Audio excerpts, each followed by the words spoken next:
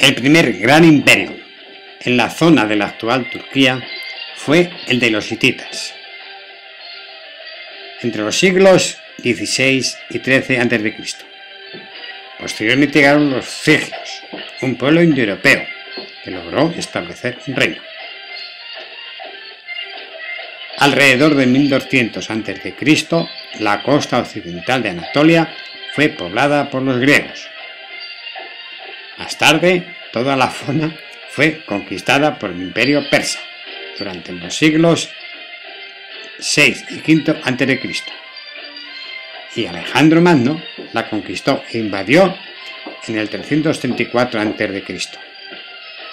Anatolia fue posteriormente dividida entre pequeños reinos helenísticos que incluían Bitinia, Capadocia, Pérgamo y Pontus, todos los cuales habían sucumbido a Roma a mediados del siglo a.C.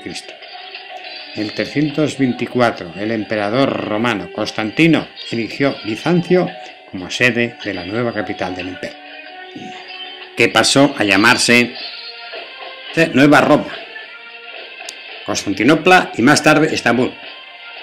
Después de la caída del Imperio Romano de Occidente, se convirtió en la capital del Imperio Bizantino, era el Imperio Romano Oriental.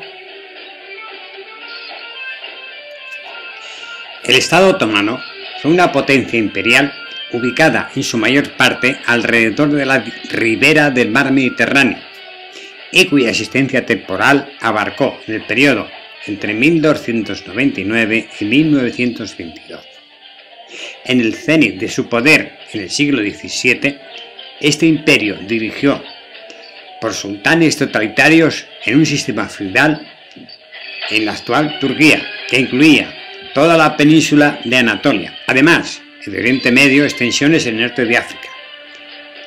Y la mayor parte de los territorios enclavados en la franja que va del sudeste de Europa, Balcanes, Grecia, Bulgaria, Rumanía y el Cáucaso. La ocupación de Estambul por los aliados a raíz de la Primera Guerra Mundial impulsó un movimiento nacional turco bajo el liderazgo de Mustafa Kemal Pasha, un comandante militar que se distinguió durante la batalla de Galípoli en la Guerra de la Independencia turca. Los ejércitos de ocupación fueron rechazados y el país vio el nacimiento de un nuevo Estado turco. El 1 de noviembre, el recién fundado Parlamento abolió oficialmente el sultanato, poniendo fin a 623 años de dominio otomano. Hoy es una república secular tradicional, unitaria y constitucional, cuyo sistema político fue establecido en el 1923 bajo el liderazgo de Mustafa Kemal, como primer presidente de la República Turca, padre de los turcos, que introdujo muchas reformas radicales con el objetivo de formar una república laica. El sultán Abdul Hamid tenía 300 esposas. Cuando el presidente de Turquía llegó al poder, abolió la poligamia. A partir de entonces, el matrimonio civil era posible solamente con una mujer. Sin embargo, los matrimonios religiosos permiten al varón tener varias esposas. Tanto en el matrimonio civil como en el religioso, el novio debe entregar una dote a ella una colección de joyas en la que no pueden faltar las turquesas. El divorcio civil es posible, complicado, lento y costoso. Ambos cónyuges, indistintamente, pueden iniciar el proceso. El divorcio religioso es fácil y sin coste para el varón. Solo repitiendo tres veces ante testigos yo te repudio, el matrimonio religioso queda roto.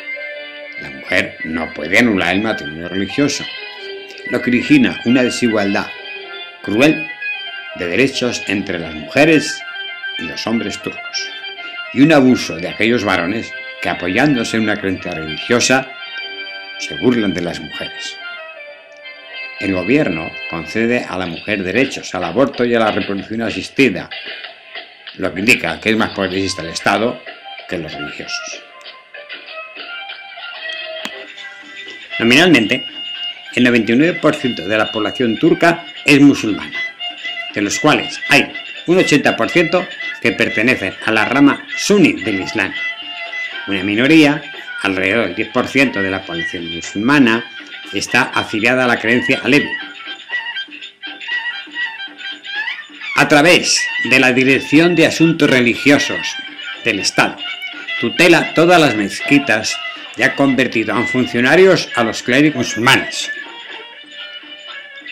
Según una encuesta de la Comisión Europea en 2005, el 95% de los ciudadanos turcos respondían que creían que hay un Dios. Turquía prohíbe por ley el uso del hijab religioso y los símbolos teopolíticos en los edificios públicos, escuelas y las universidades. La ley fue confirmada por la Gran Sala del Tribunal Europeo de Derechos Humanos como legítima en noviembre del 2005. La Constitución reconoce la libertad de cultos. Para los individuos y las comunidades religiosas se colocan bajo la protección del Estado. La Constitución señala explícitamente que los religiosos no pueden participar en el proceso político, con la formación de un partido religioso o establecer la fe en las escuelas. No se puede pretender que se representa una forma de creencia religiosa en exclusiva. Sin embargo, la sensibilidad religiosa en general están representadas a través de los partidos conservadores. La cultura turca es un producto de los esfuerzos por ser una sociedad moderna y occidental, con la necesidad de mantener consideraciones religiosas tradicionales y los valores históricos.